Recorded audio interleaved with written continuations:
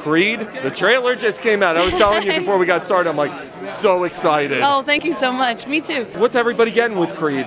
Give me everything. I know we know Drago's back. Yeah, Drago. Well, you meet a new Drago. You Young meet his Drago son. Jr.. Uh, you meet Drago Jr., who is not to be messed with. He's serious, serious uh, competition.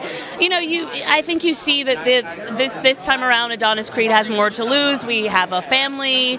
Um, you get to see my character Bianca still dealing with some of the her own fight with her progressive hearing loss and trying to be an artist and a mom and balancing those things. Um, and yeah, you, you, there's a lot in there.